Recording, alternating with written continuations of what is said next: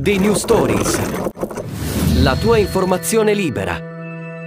Panico alla scuola superiore.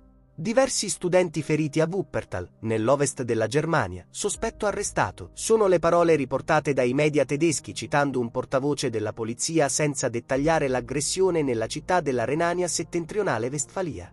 I feriti sono diversi, con almeno quattro ricoverati in ospedale in condizioni gravi.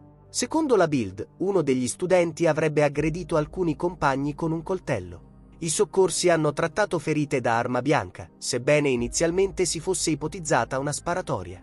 L'attaccante sembra aver agito da solo, senza complici. Secondo fonti radio locali, sarebbe affetto da disturbi mentali. Attualmente si conosce solo il numero dei feriti, ma non le loro condizioni specifiche. Grazie per la visione. Iscriviti al canale e attiva la campanella, per noi è importante. Resta sempre aggiornato.